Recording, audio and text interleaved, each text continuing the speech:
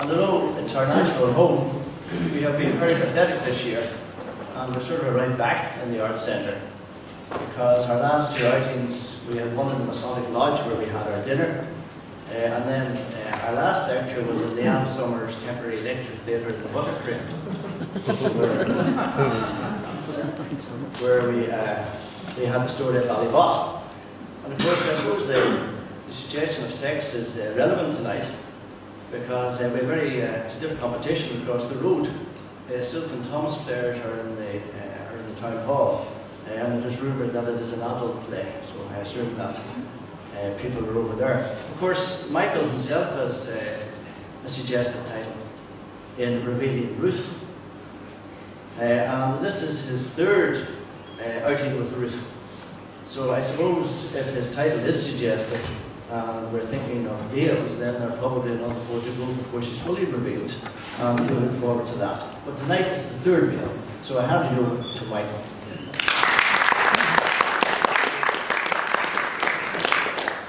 It's a very interesting topic of conversation because Carol and I have been uh, sharing a detective sleuth trail for the last little while because this is why I mentioned the word revealing Ruth.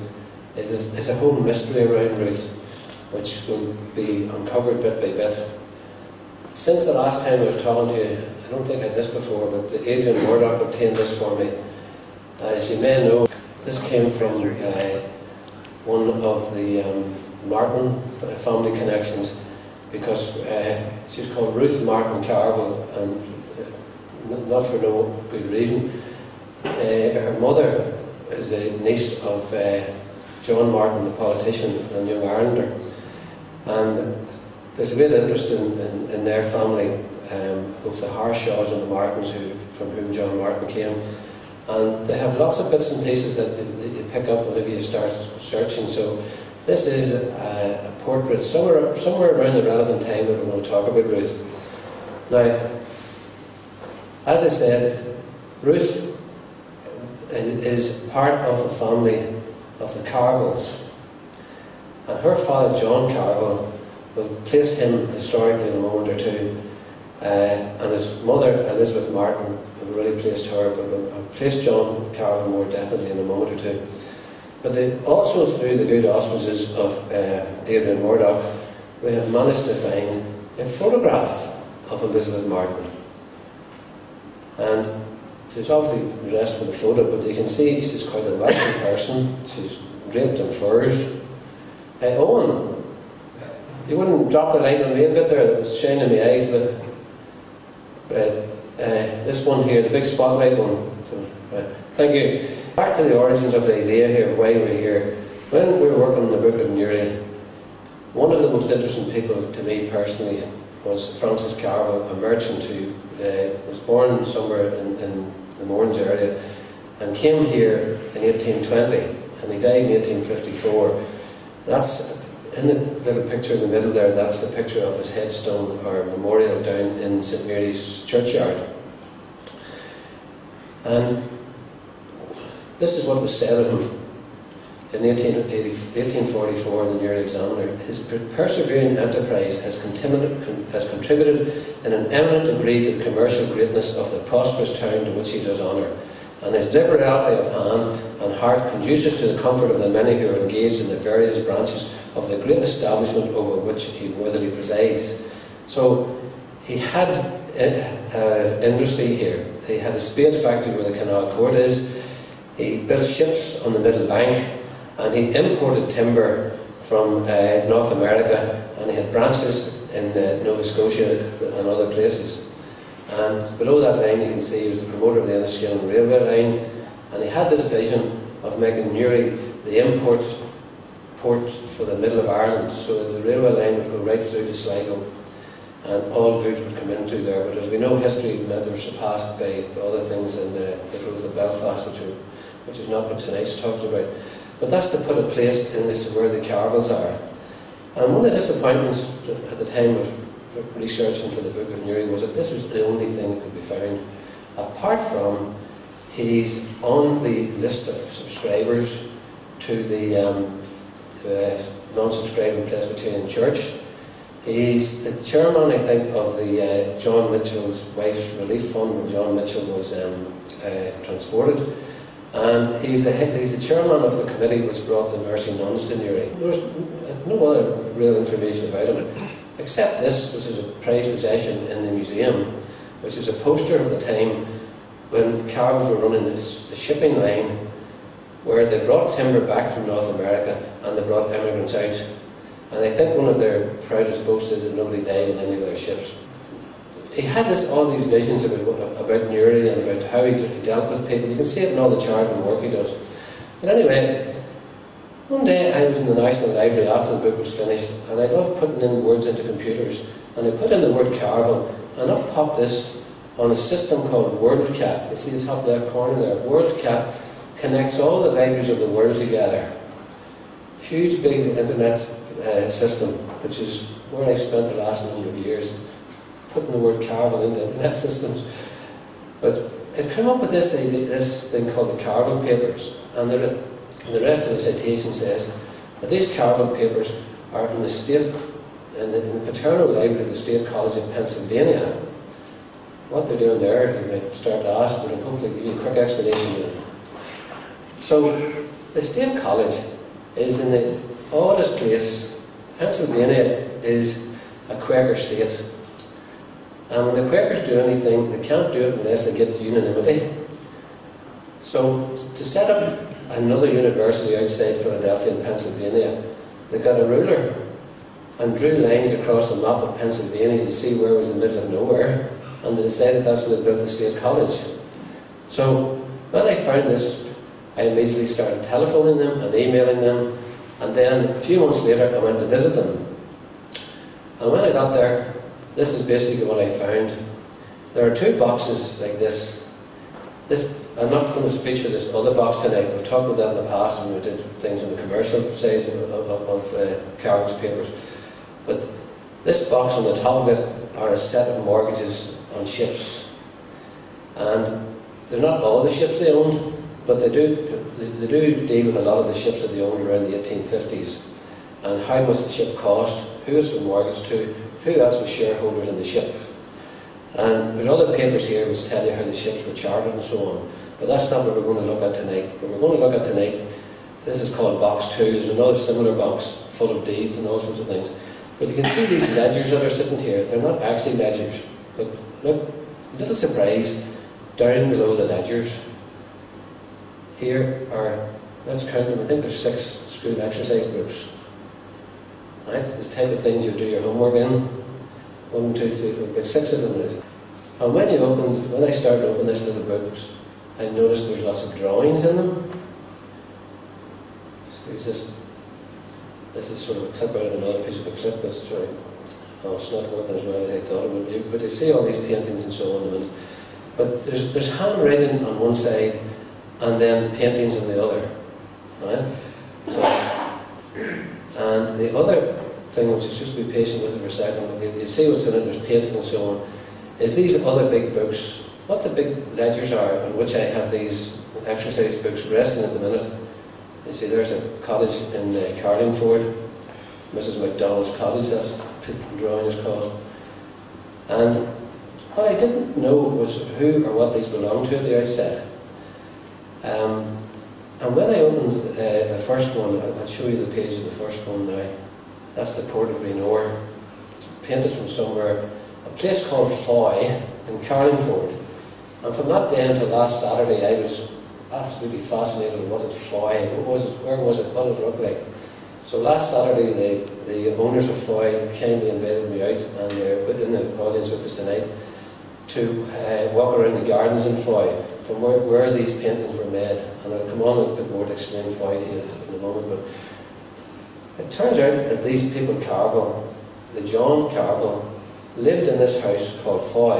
You can see this, this is a photograph of it that was inside this, well, you might call it a scrapbook, but actually what they're calling is logs. That's the name that the, the author gave to them. And uh, I'll bring you back on now to the point about these books. This is all the books here. Today, if you write anybody an email, it's stored away in your hard disk. In late Victorian times, when you wrote, if you wanted a copy of it, you didn't have to sit and write it out twice. Believe it or not, they had some form of carbon copying. And what people did was they bought ledgers like this, bound books, in which the sensitized paper, sensitized paper was already in the book. And this book that I'm taking out here is the last of John Carvill's letter books. He started these books around 1880, 1880 and he was still writing them up until 1927. And the last letter that's in this particular book is a letter to a nursing home saying he wasn't feeling well and he'd admit himself next week. That was his last letter. He obviously went in and he died there. Um, but we know he died there anyway from other, other research. You see what happens when you write a letter, the letter is copied. As you're writing it on your little card, the letter is copied onto these pages, so you retain a copy in your letter book. Uh, the only other place I've ever seen this is in a solicitor's office in, in uh, uh, Clones. Um, uh, what's George's second name, Donna? Knight, George Knight. George Knight. George Knight is, is, is a son of a solicitor who, who is in Clones, and he has a set of letter books, and they're the letter books from, from the solicitor's office. But in the box was this little note, and it says, the source of acquisition. You see the second line down there? nature of acquisition and the source of acquisition. It was a purchase, a purchase from Peter Eden of 80 Holland Park, London. I also think to watch here before we, because I'm going to be, make this significant later on. You see it says at the top line, the information on literary rights is available in the repository, yes, and the next was put in. Now this piece of paper was put in here in 1970. These papers, according to other documents that, we, that I found when I got to Pennsylvania, uh, by the way, just for, for colour, I arrived in Pennsylvania on a Sunday, went to the library at 8 o'clock on the Monday morning, and I stayed there till 6 o'clock on the Friday evening. I went home from a tea like about 7 or 8 o'clock each night, but I spent the week photographing everything I could in front of me, which I don't think the people in the library expected. But nobody came in to see me for the best part of the week. I'm not going to show you tonight when the boss of the library come in. I showed that one night before. The boss of the library come in and he says, "What are you doing with our papers?" But anyway, I'm not going to show you that bit tonight. But once we got all this information, we started uh, doing investigations. And remember the bit about literary rights, because that's one of the things that I'm going to talk to you about tonight. Um, so the story was that a professor from the university had been in London. He saw this box of family papers. He opened it up and he saw that these people owned a factory. And because Pennsylvania is full of factories, he thought he'd bring this home and one of his students would do a PhD into an Irish factory family never happened. The box wasn't opened until the day I arrived. What's that, 40, 49 years later? Yeah, 39 years later. Sorry, 39 years later when I opened the box. Right, that's 80 Holland Park Road in London, just facing Hyde Park. There's no way I'm going to meet Peter Eaton in there. He's gone. But what is likely was is that Peter Eaton had a second-hand shop here. This is uh, Holland Park Tube Station to the right of this here, just beyond Starbucks. And this is just a reminder of what you look at, what you find when you open the box. Tucked away, six school exercise books. Mystery for us, did the family put them in there, or did the person who wrote them put them in there at a later time? Because this is what the first page says. It says, Ruth Carvill, Foy, Carlingford, Ireland. But at that stage I hadn't a clue. Foy. But a great friend, uh, the, the Adrian Murdoch myself here, is called uh, Maud Hamill. And when I was in Pennsylvania, I was emailing stuff back to Maud and others. And Maud was away doing research. And Maud could send me emails the following day and tell me what age this person was. She was a 14 and a half, 15 year old girl who was living in this house called Foy in Carlingford. Now they had another house as well. They lived at 17 Downshire Road, Newry. But I've never been able to find 17 Downshire Road. It's been subsumed in some other development, like the telephone exchange. Probably that's where it is. Uh, I've recently started to look at, look at the 1911 census to get the, to get the names of all the neighbours of them in town.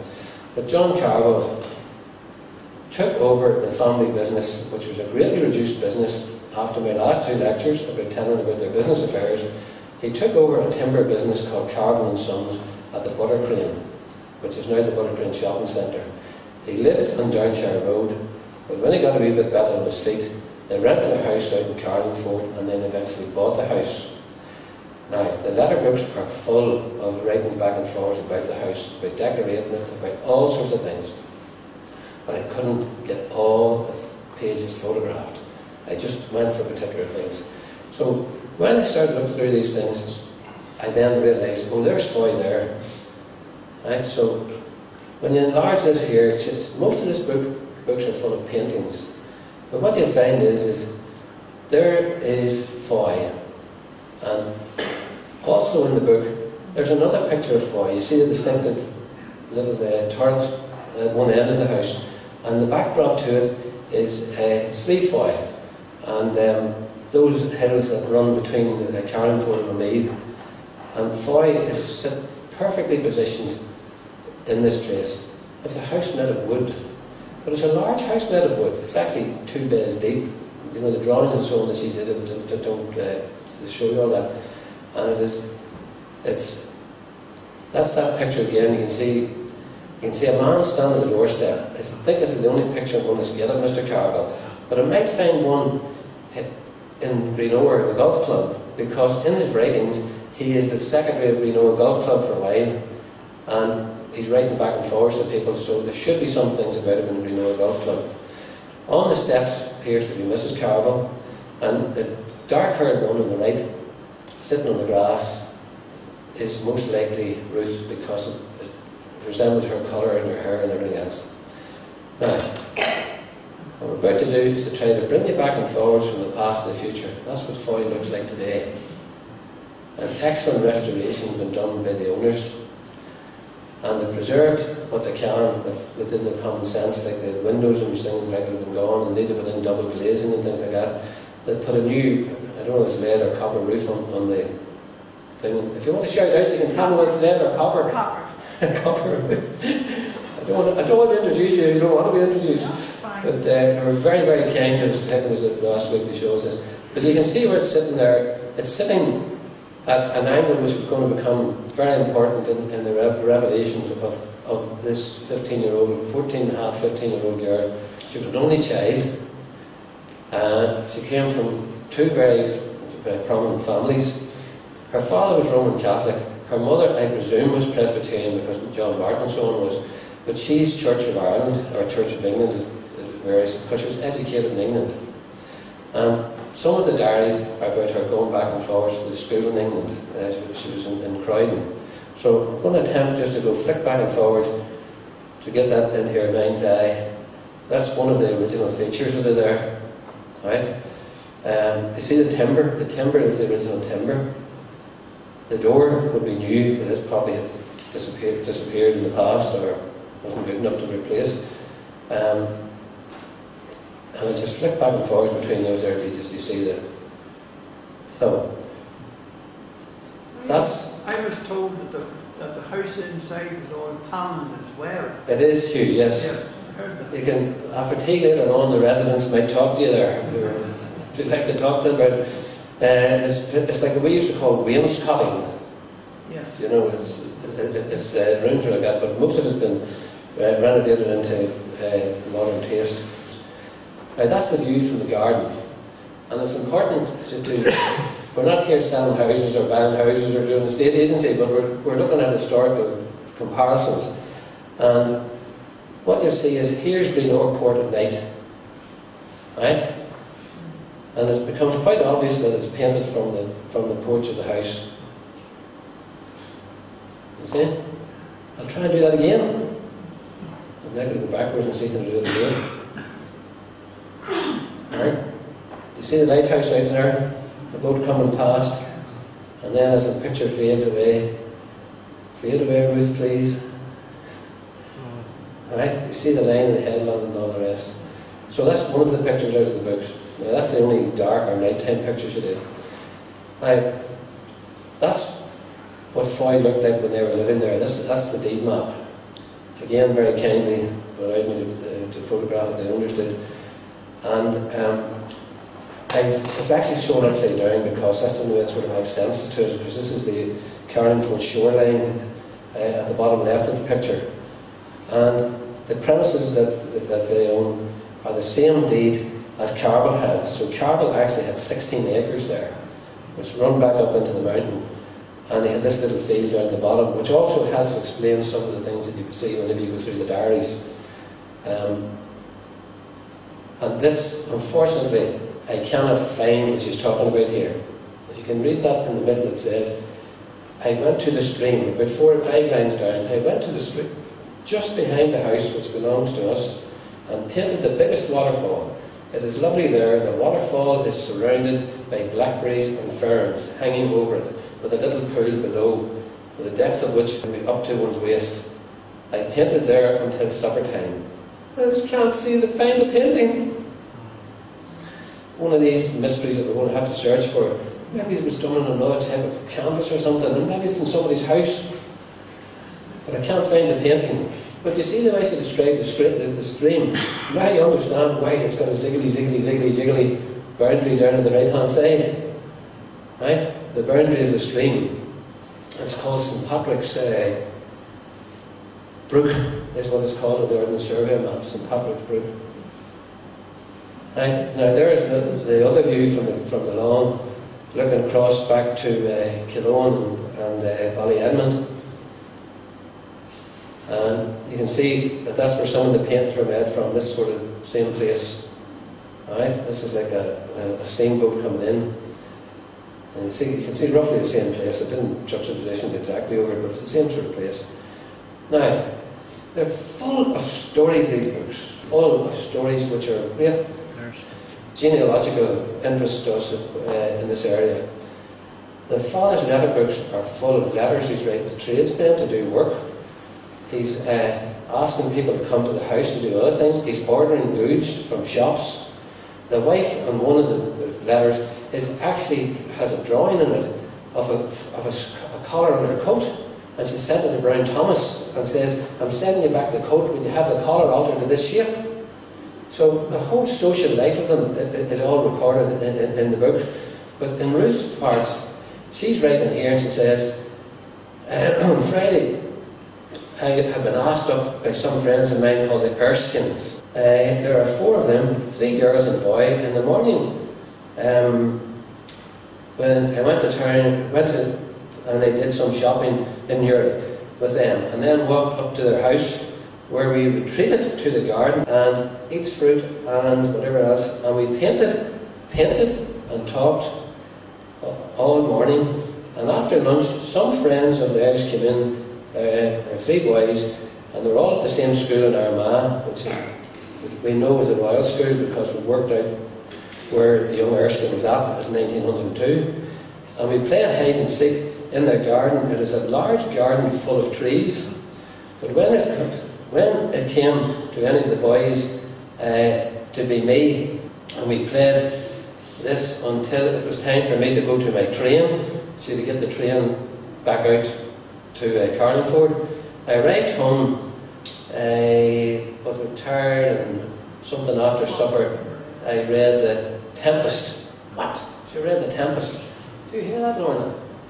My granddaughter's in the audience here who reads a lot. The Tempest. We'll have to find that. Right? Until I went to bed. Now, you can see what she's painted opposite it. She's painted this which is what I think is the best painting of all, and it's the one that attracts me most because it's actually local to us and it's a scene we all recognise. So when we got time, we started to do a bit of investigating. I think the Marjorie Harshaw and Adrian Murdoch were with me the day we decided we'd go and try and find this place. And then we had to find out who the Erskines were, and we called in the Truths, Maud Hamill. She went and got us a whole family tree for the Erskines. And the, uh, the picture uh, is so simple. It's just a whole lot of blobs of colours. When we found out more about the Erskines, we found out that the Erskines lived in a house called the Yews on Canal Street. So we were over in Armagh that afternoon and we've got the 1903 ordnance maps out and we went up Canal Street looking around Erskine Street but here we found the Yews. So we went to look at that there, the Yews, and um, you can see from the map at the back of the Yews, that's the houses after the bottom part of the Y, that's where the houses start. And then you see the back, back parts of the houses, and then you see steps going up to an aviary, and then an orchard. Right? Now, some of the people connected with Our Ladies, or some of, maybe Sister Perpetua told me, she remembered an, an orchard being there. Yew tree here, but I'll put you another couple of shots here, you see this. Actually, there's two big yew trees there. That's the centre of Newry. These people have got it. There's the two yews oh. beside each other. And it appears from that survey map, etc., that the door on the left with the green is, is probably was Erskine's house. Uh, although the whole thing on the, on the survey map is called the yews. So, um, uh, how did we get this? Well, Maud Hamill traced the Erskines and then traced them down to the current day and found one of them living in Sussex or some place like that. And the wife of one of them is a famous authoress, named over my head, the one I can't remember.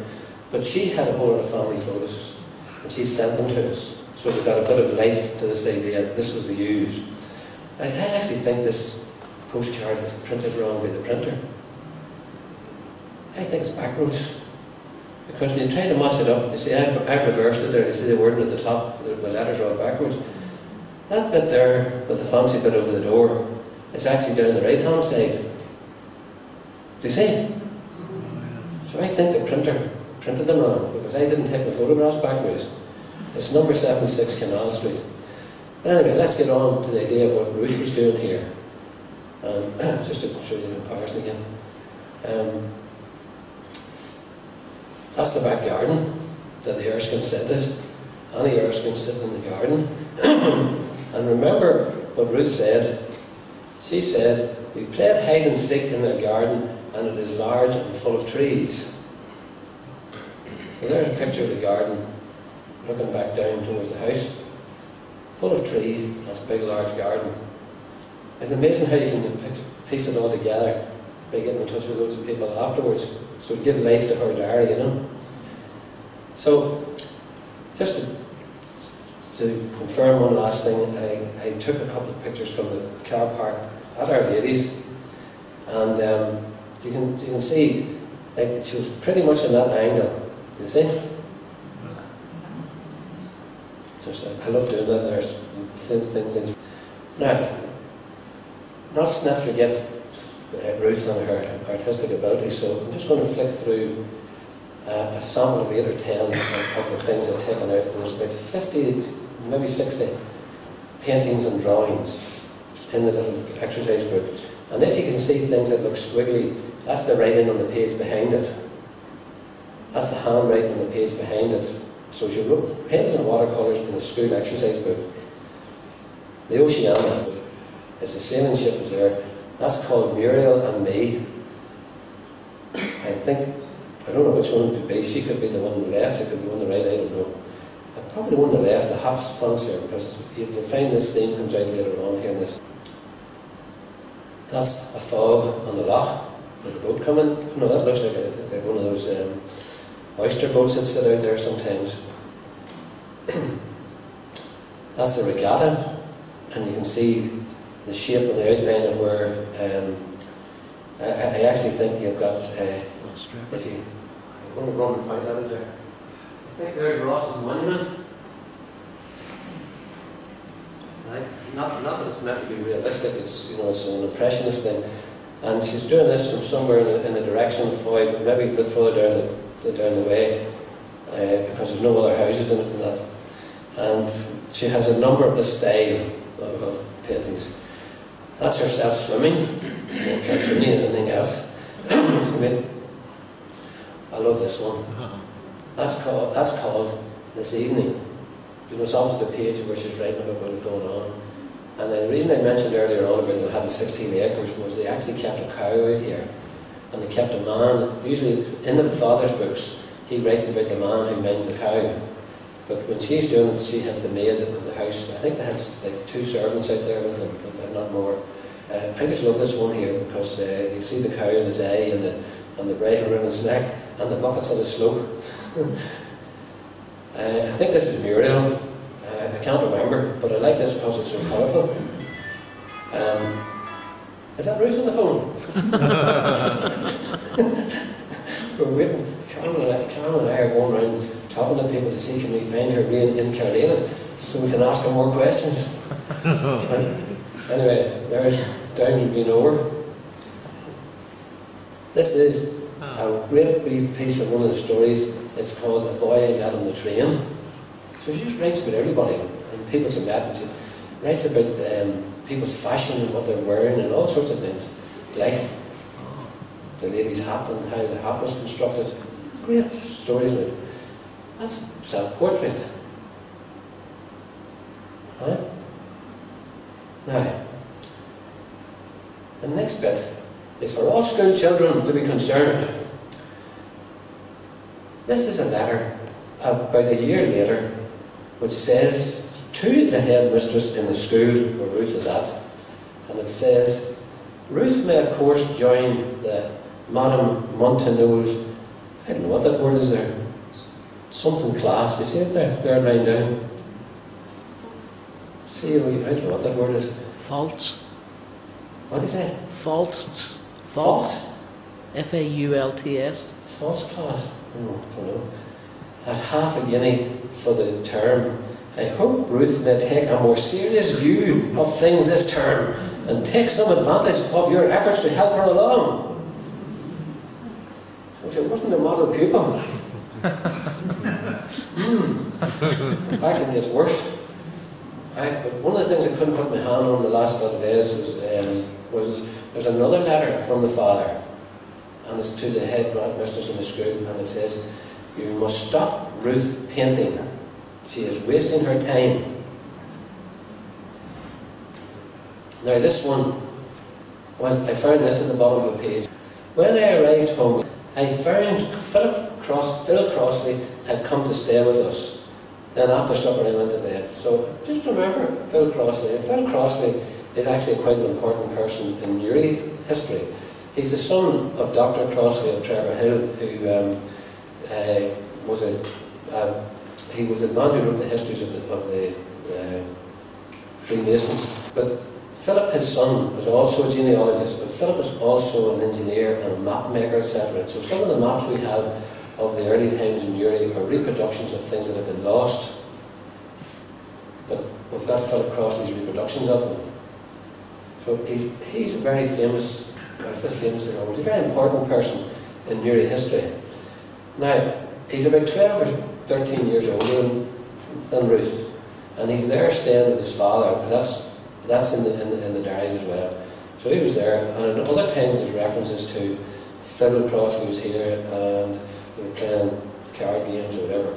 So, the reason why it's so important is, is that a couple of years later, on the Saturday, the 8th of the 8th, 1908, in the Irish Times, there is a wedding announced in Dublin at St Peter's Church, Dublin. The Reverend Griffith is married Philip, the second son of Francis Crossley, MD, that's a medical doctor of Newry, and Ruth Martin, only daughter, daughter of John Carvill, Newry. So that was in the Irish Times. So there's something odd about this marriage, you know. It's um, remember he's about 13 years older than her. At this stage, this is six years after she's about 20. I think that's what it says on the certificates of settlement. Within the year, there's a very ominous letter. It goes from her father to what he calls Mr. Crossley. No, dear Phil, my lovely son-in-law. A letter to Mr. Crossley which says, Your note of yesterday, I don't think any good can be done of my seeing Ruth at the present, but I will see her as soon as she is well.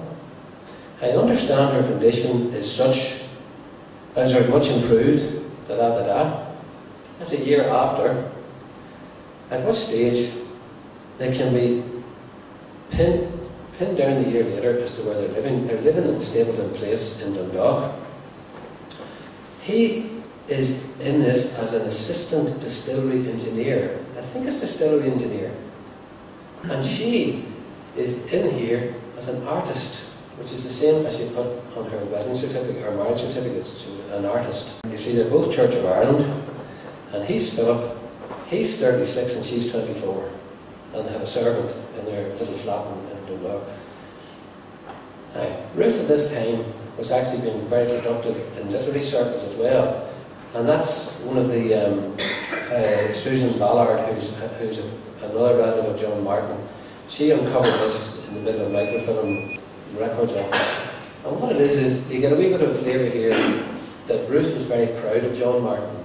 She was also very nationalistic because she was writing around the time that the, I think that was called the Third Home Rule Bill was going through, and she obviously thought it was all about to be passed because the way this article is all written is about um, this is the work of John Martin and, and Mitchel coming to fruition and so on, and goes on and tells the story about how he was a humble man, etc., etc. So I'm not going to read all that, but that's for another time. But um, you can, you can see like in the bottom paragraph there, nationalistic view, view she has. With the trial and execution of Emmet in 1803, the struggles for freedom ceased. Murderers had been hanged, conspirators had fled, and the country returned externally to the part of order. And you see, she writes like an authoress, doesn't she? Like, what else did I forgot to show you tonight? What have I found in the books? A set of poems that she wrote. The reason I didn't put them on here is if I sent them off to a literary expert to ask them any good before, before I don't want to let her down if they're not good, but um, uh, I have uh, I've uncovered those as well in it. Now, the story blackens, and I think I've told you this a bit before, but I'll go over it uh, quickly. The story blackens because the mother is writing uh, in January of, of the same year as that census form, and she's writing to a friend in England, and what she's saying is, is that Ruth is getting us all a very bad name. She uses words like, this, it's a bit long-winded what she says, but the, to put the matter plainly, her appearance on occasions with a gentleman, married, middle-aged, respected, wealthy, and of considerable position in his county, has given rise to much talk in Dundalk. And uh, it goes on about she's been seen with this person, etc., etc., etc.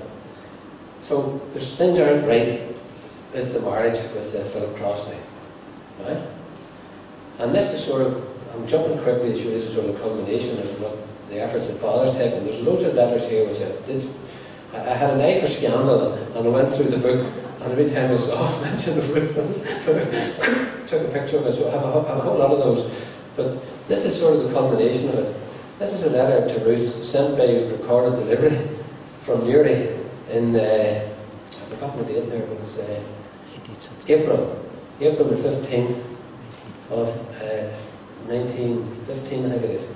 Yeah, you can just see it on the stamp there, or 1913 or 15.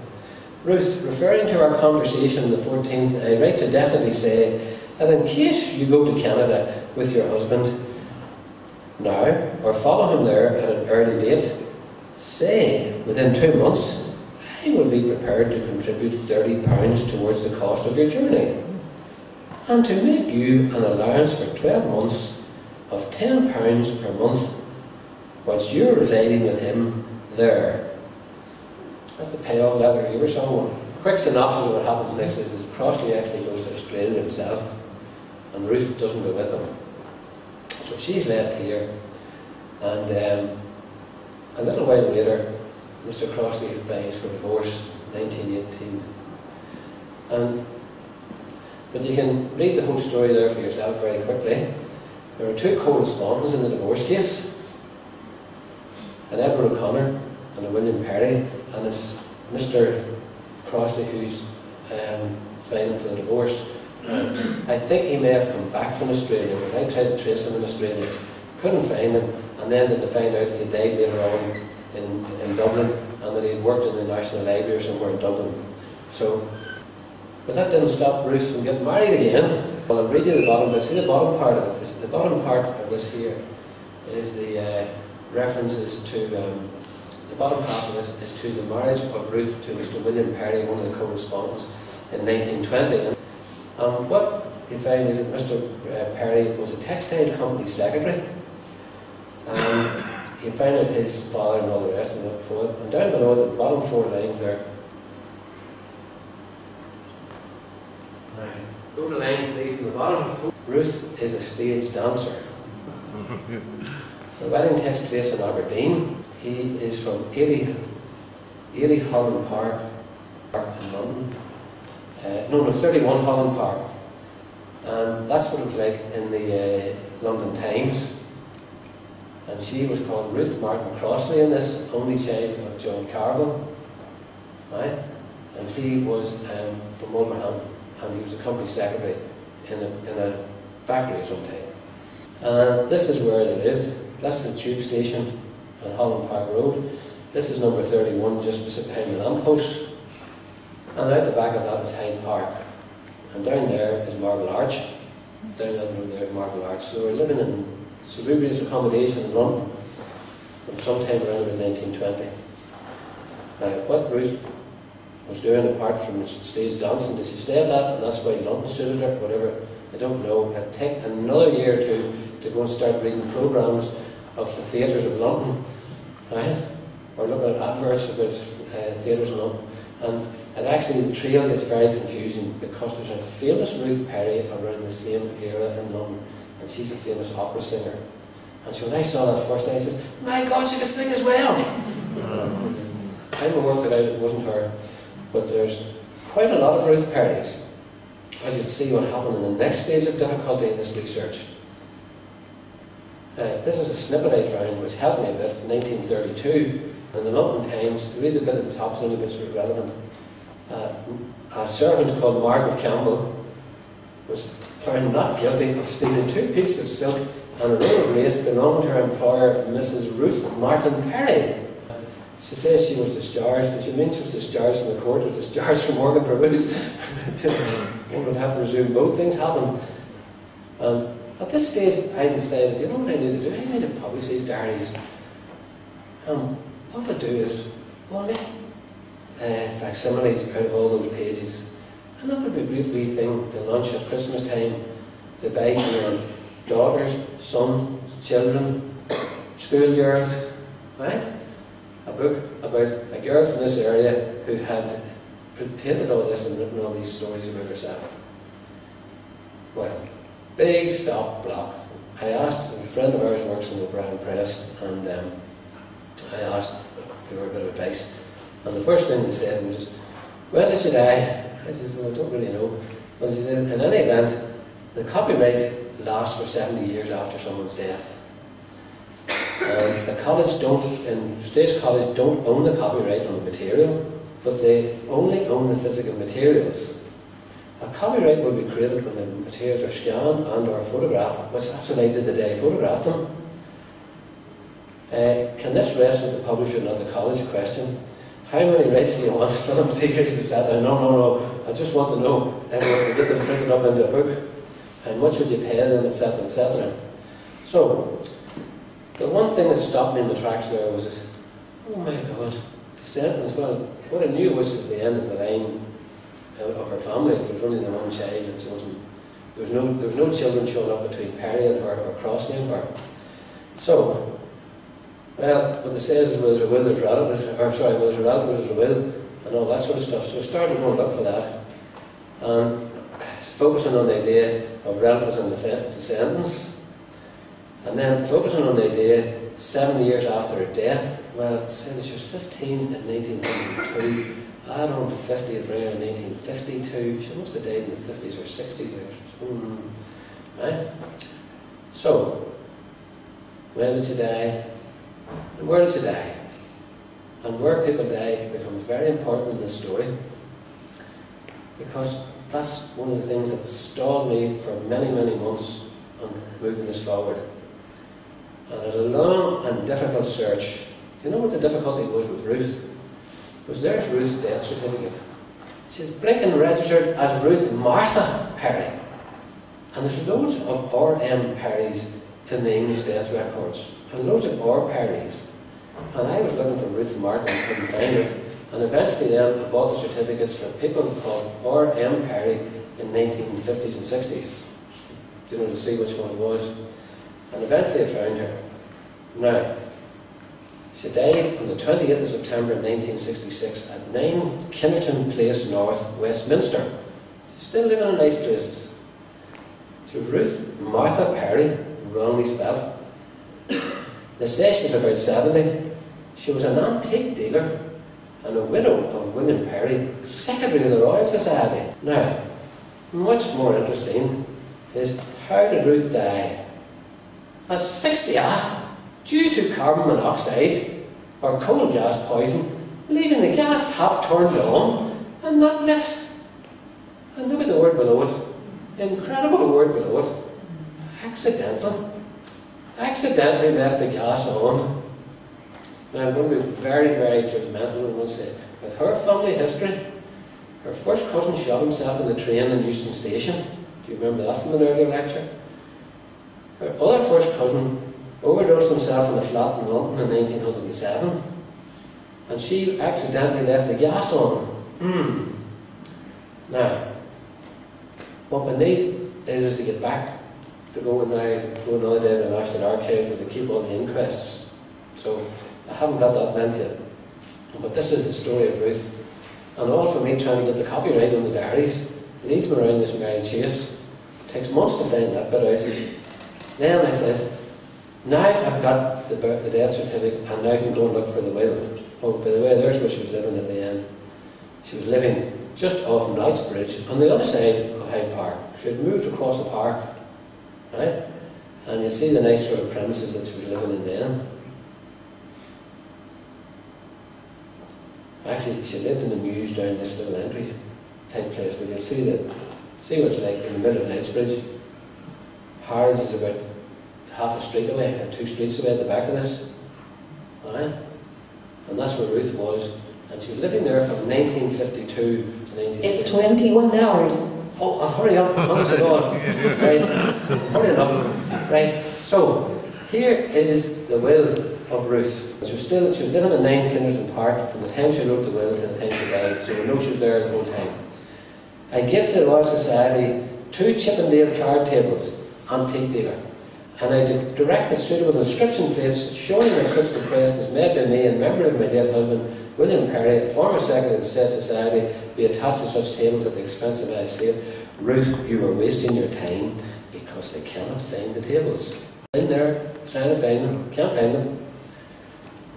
Point two. As some return for their kindness, I devise and bequeath the rest and remainder of my real and personal estate for their kindness to Cecil W. Johnson and Marjorie Johnson, his wife, care of Messrs. Babcock and Wilcox, 520 Marina House, Hong Kong.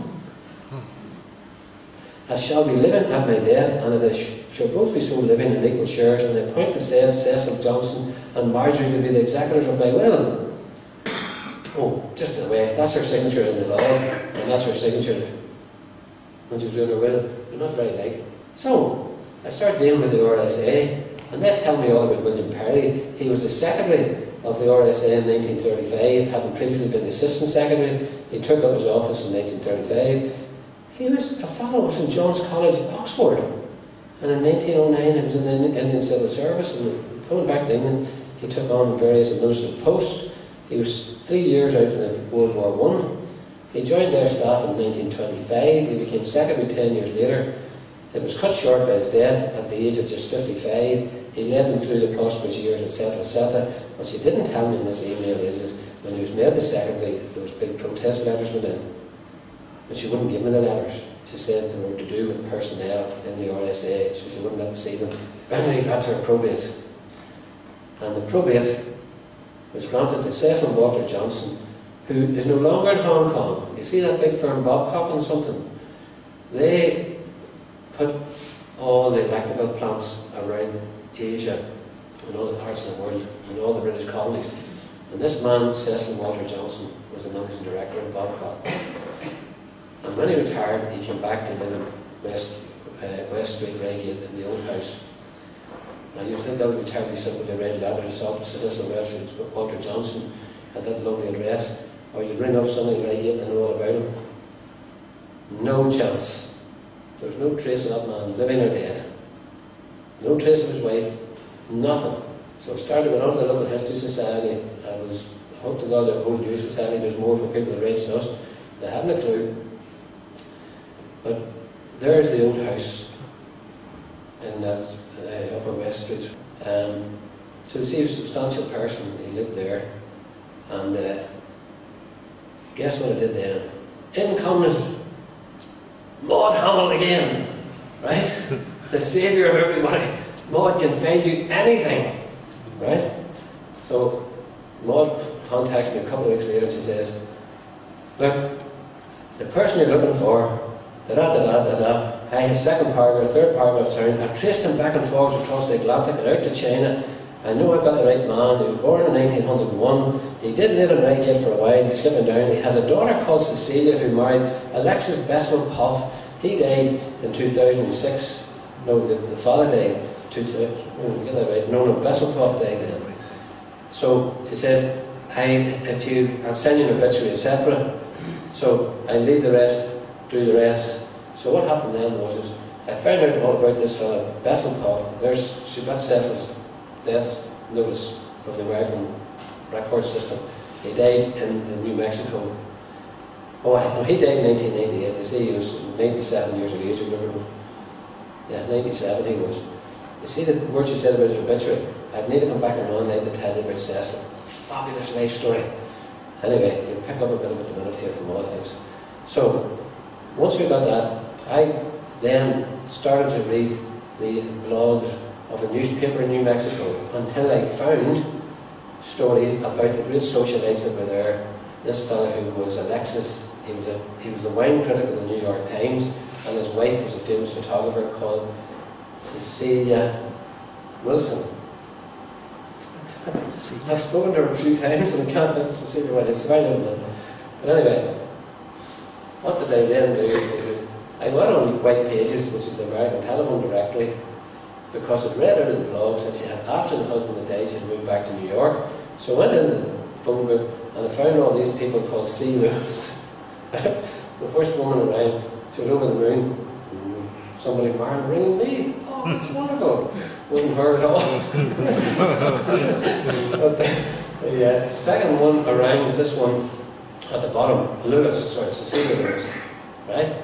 So, follow Cecilia Lewis. Uh, are you Cecilia Lewis? Yes. Well, you won't know me, but but uh, my name is Michael McKeown. I'm ringing you from Ireland, and I'm trying to trace something who some person who you may have known. Uh, it was a lady called Ruth Perry. Would that be familiar yes. to you? Yes, yes, of course. She was a friend of my parents. D- did you know her? Uh, yes, indeed I did. And how, how, and what connection did you, was she related to you? Um, no, uh, I just remember meeting Ruth um, in Shanghai, where I was born, and where Ruth lived, um, where she was a friend of my parents, and then later on in Macau, which is um, where everyone used to go by junk to go gambling in Macau.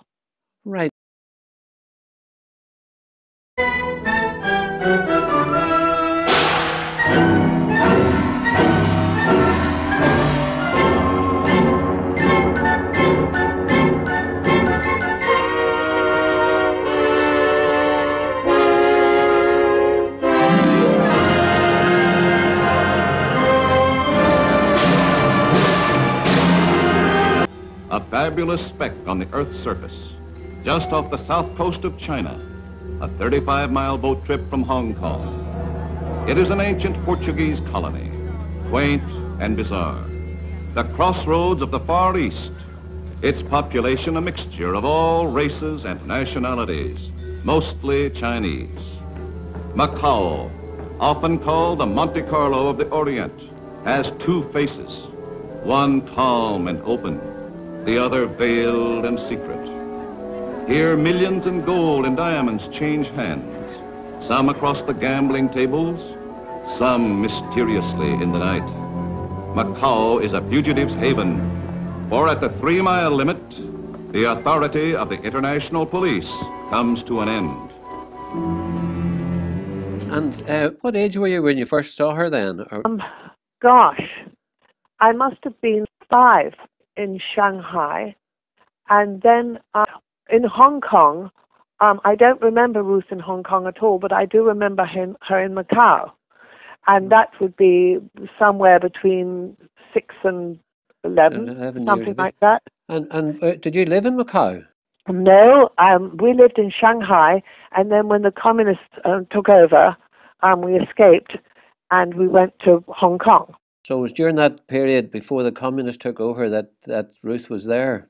I think so. You know, the thing is, my memories are a bit muddled of exactly place. My memories of Ruth aren't at all muddled because she was such an incredibly beautiful woman that I was absolutely starstruck. So my memories of her as a person are incredibly clear. My memories of exactly where and when, because you know, as a child, um, I met her in Shanghai. I remember she was very friendly with someone called Norman Beale. I, I, I believe he was her lover, in fact. Right. Um, but she was always a woman of great mystery, so no one quite sort of knew, you know. But in Shanghai, of course, being an open city, an awful lot of people suddenly materialized there, you know, perhaps leaving their past behind. Uh, Is that like because post war, just after the war, lots of people appeared there? Well, um, it was pre-war that a lot of people a- a- appeared in Shanghai. Um, then during the war, of course, there was internment and all that um, by the Japanese in Shanghai. That, for my memories of that, are simply being in a in a camp, being in a, in a Japanese internment camp. Yes, before. But afterwards, Mhm. when the communists, you know, the civil war in China resumed um, at the end of the World War, and um, when the communists were advancing into Shanghai, my family and I escaped on a seaplane, and I don't know whether Ruth escaped at that same time, but my guess is yes, or, or prior to that. And people then, generally speaking, made their way to Hong Kong. Then, as I say, um, Macau was, you know, close to Hong Kong, and I, I remember Norman Beale had had a fantastic house in Macau. So he was a wealthy person, Norman Beale. I think he was very wealthy. His uh, what I remember about his house was our house in Hong Kong was, you know, very terrific. I think we had seven servants or eight servants. But Norman Beale's house was mostly marble, so I was very impressed as a child. Right. You, you say you have this uh, great vision of the first time you saw her. It was at a luncheon party for for ladies. You know, women in those days would get together and have lunch parties. You know, Yes. and um, and all the women wore hats and so on. And Ruth wore a hat with a little veil, and which was extremely glamorous. And she was incredibly glamorous. She was as beautiful as Elizabeth Taylor, but she had the great sexual allure of Ava Gardner. I mean, she was absolutely amazing. And, um, and of course, as a child, I was absolutely staggered. And she wore clothes in a in a way that was different from any other woman. She she put together fabrics. You know, women used to have their clothes made. yes. Hmm You know, and I, and I imagine that those were copies of the latest London or Paris fashions. You know, that they would have made by Chinese. You know, very talented Chinese dressmakers. Ruth's clothes were completely different. I remember she was wearing a, a dress with a sort of zigzag down the front of a different color, whatever the dress was. There, there was this kind of lightning rod. You, you know, not Yes. lightning rod, the, li- the spikiness of lightning going down the front. And I had never seen anything like it. It was amazingly daring, you know? Yes. she put together fabrics and she put together her accessories in a way that no one else did. hmm Um, she was immensely glamorous. Well, I, I have um, found in, in a repository in Pennsylvania diaries that Ruth wrote when she was a child. And Oh. the diaries are uh, full of nice, beautiful watercolours. Did, did she display herself as an artist when she was with when, when you knew her? I, I never knew of, knew of her as an artist. Mm-hmm. No, but mm-hmm. but you know, I can well understand that she was an artist because of the way, she, incredible way she dressed and her her feeling for colours and the way she put to, the way she put mm-hmm. together her clothes was just amazing. And then, of course, later on, my parents and she kept in touch for years until she died. And when we all were then living in England some years later, she had, um, I think, her fortunes had turned, Mhm. and um, she was now a bit strapped for money. Right. And um, she had a stand in the Portobello Road, hmm and she was selling beautiful jewelry and um, bits and pieces of this and that, you know, beautiful cushions or, but a, a lot of, and I imagine that this was the jewelry she had had du- during her, you know, during her life, accumulated during her life, which she is now. So you could see in her stand, again, an artistic bent. How I have uh, traced my way to you is uh, through your father, that her father was the beneficiary of her will. There wasn't much in the will, of course. Your father didn't have any family blood relationship. That's the word No, no, absolutely no, no, no relationship at all. I think that my father was really a good fellow, you know? Mhm. I mean, a really, really kind and good man who you could really rely on. And I think it was that. I think when, when Ruth had fallen on rather hard times when she was in London with her stand in Portobello Road, we used to take her out for dinner almost every week. Right. We, we lived in Surrey and we drive to London, and she was crazy about Lyons Corner House. Steak and chips was her favorite. and and we used to take her out for steak and chips at Lyons Corner House. And I think that she, my father, my guess is that he probably gave her a little bit of money here and there to try and help things along a bit, you know, with my mother's knowledge, of mm-hmm. course. Yes. Um, you, you know, they were extremely mm-hmm. fond of her. But she was always a woman of mystery. No one ever knew her past. That was the thing. But of course, in Shanghai, as I said, it was white Russians fleeing mm-hmm. communists. It was people, also people fleeing their pasts Yes. because it was it was open. You know, no passport needed. Well, had you any Um, had you any idea of her uh, Irishness? No, absolutely none. Mhm. None. And she certainly didn't have an Irish accent either. I mean, absolutely none. We, I just knew her as this incredibly beautiful woman that I was fascinated by. And I couldn't take my eyes off her. I think most people couldn't, you know? You mentioned your father, by the way. I, I've read so much. Uh, he is deserving of his own biography. Yeah, no, he, he was he was an extraordinary man. He really was. Very English. I mean, he was the sort of man who th- think, you know, thought that God was an Englishman. Yes, uh, uh, he was out in the colonies uh, sorting them out for, for, for the mother country. Yes, yes. yes. If she was such a good artist when she was a child, why had she not other paintings that have shown up or preserved Yes. somewhere else? Because I think that uh, she was at a different part of her life, but always art clearly showed up. Mm-hmm. You know, I, I thought of the paintings, and I thought, of course, the way she dressed. Mm-hmm. You know, Yes, yes. the way she put fabrics together, the way she arranged her stall in the Portobello Road, uh-huh. and the beautiful things, and her knowledge of beautiful things. Yes.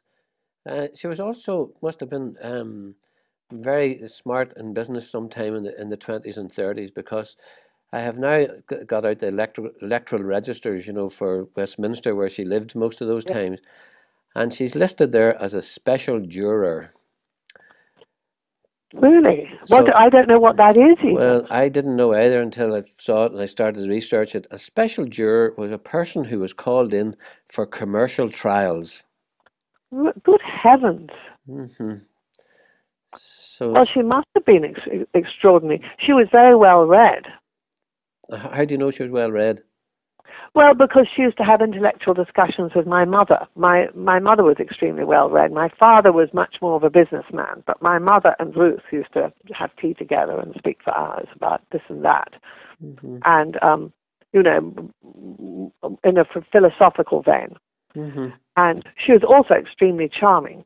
You know, as a child, I, I, there's nothing I like more than to see Ruth. Yes, to hear. Well, she must have been very charming because I was uh, checking up about Mr. Beale, as, and um, his family were very big in Australia, Oh, really? hmm. which would have given him the Singapore connection, you know, or that Southeast I Asia see. Of course. Right. Mhm. Right. Right. But anyway, um, I, I, I'll let you go now. Well, it's been fun speaking with you. And I'm, and I'm going to take your photo off your off the photographic website, if that's okay. I'm going to put your photograph up while your voice is on. Okay, great. All right, and we'll talk to you again soon.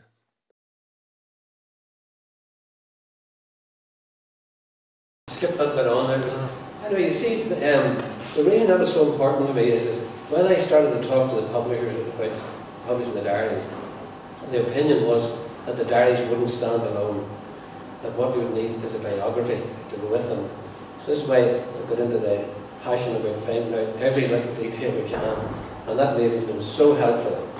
Um, I've spoken to her a couple of times since. Um, I actually, one of the things I have to say is I couldn't find the piece of paper, but my son was over in New York in the summertime, and uh, by a prior arrangement with her, he went to see her, and she signed over the copyright of the diaries to me.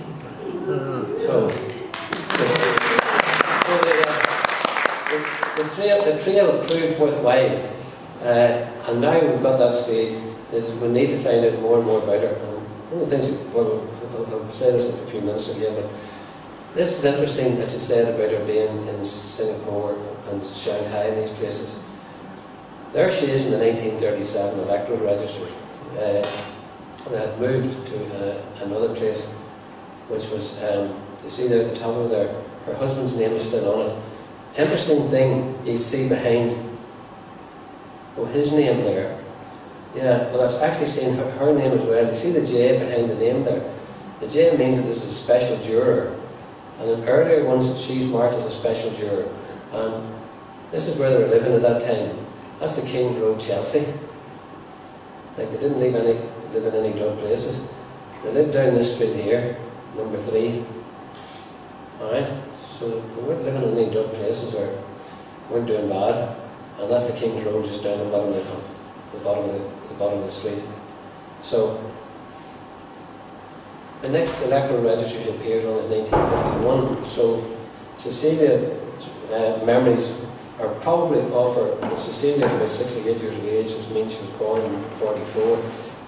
Her memory of her are probably between the ages of 6 and 7 because it looks like she's gone back. And you see in 1951 she's got a J behind her name. Now, what does this J mean? A special juror or a special jury was a common law feature convened to sit on mercantile cases calling for specialist commercial knowledge. This is why special jurors would be found living in central London. Like you'd think you're getting paid for this or what, I don't know. But she must have had some big business commercial background to be selected as a commercial uh, commercial jury. Now, this is what we're left with.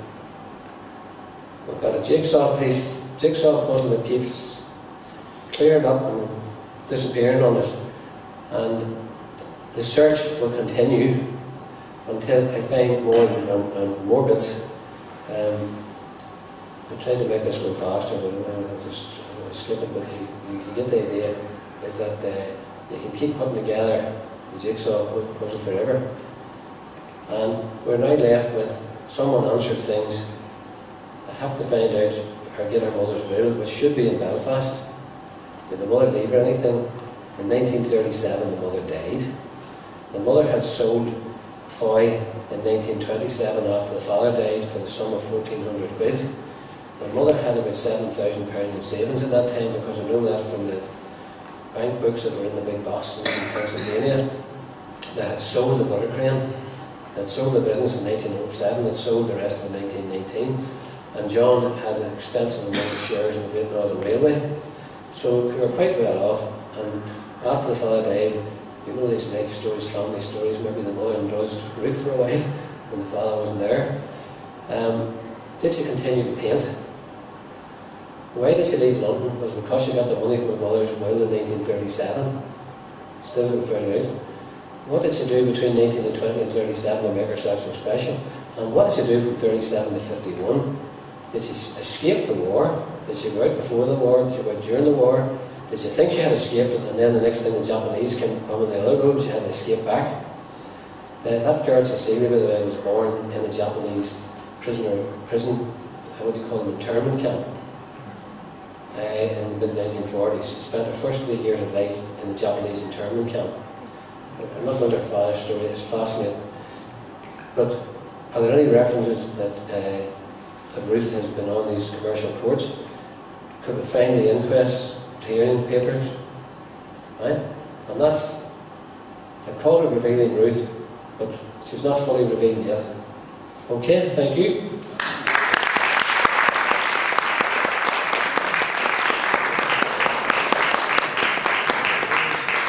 Oh, yeah, last thing I forgot to say. How do we get the papers back to Newry? No ideas? Start a campaign. well, I have done it. Well, see if anybody asks me that question. I've been trying various angles. And what you find is that academic institutions, particularly in America, will not part with anything. It's like, you know, the miserly idea you might have, is that be useful someday? Somebody will find that. But the, what you also found, is I found in that week that I was there, the whole place is funded by wealthy people you go to that library and there's a name of a, of husband and wife over the door of it because they put up the money to do it. And what we need to do is find our way in through the people that fund these places through connections here, etc. And the first stage that you should think about is a political thing. I'm not sure there's a, I think it might be better to find people who know wealthy Americans and for them then to come up with a network of the obvious one is uh, Mr. Rooney down in the American uh, consulate or American embassy who is a Newry connection and so on. Um, but it all takes energy and time. And it's a bit of a balancing act. Some days I prefer to find out more things so when you go to meet any of these people, you've got more bits and pieces of the story to, to make it more convincing. But either way, we need these here. And those two boxes should be sitting up in Bagenal's Castle, sharing the space with the Reside Connection and start to expand the things that are in there. And anybody who wants, knows how to get them back, come and tell me. Yes, Anthony. James? Oh, you're the chairman. Oh, sorry. Uh, call upon James to propose vote of thanks, please. Oh, sorry. Sorry for the confusion. You've had the you've had the chairman, you've had the vice chairman. Uh, I'm one of the foot soldiers. I usually get killed in the first charge, and the cavalry come over the top of me. But anyway, uh, thanks, Michael, uh, for a very insightful, very well researched piece on um, on the ongoing story of the Carvills, who, as we know, were uh, entrepreneurs. Um, very successful players in the in the commercial life of Newry uh, in the uh, 1800s, and indeed were the precursors to uh, the Fisher family and what they did uh, later on. But um, Michael has given us um, a very uh, in-depth uh, presentation tonight on Ruth Martin Carvill, and. Um, as he says, it's the third, it's the third um, lecture that Michael has done uh, concerning the Carvills, and I've been lucky enough to have been here for all three. Um, I've no doubt that uh, from the amount of material that he glossed over tonight, uh, apart from um, the the uh, more detailed information on Ruth Carvill, he has a lot more. Uh, we'll be here for a few more. Um, episodes on the uh, the entire Carvill saga, and um, it shows the, uh, the, the, the the quality of the. When you look at the program that we've been fortunate enough to have this year, it's hard to believe that we're drawing to the end. Uh, but the, the standard this year has been has been particularly high. Uh, the bar seems to get raised all the time and certainly with Michael's um, transatlantic uh, research and the work that he has put into this project, uh, it really does um, deserve every credit. I'm sure you'd like to, to show your appreciation.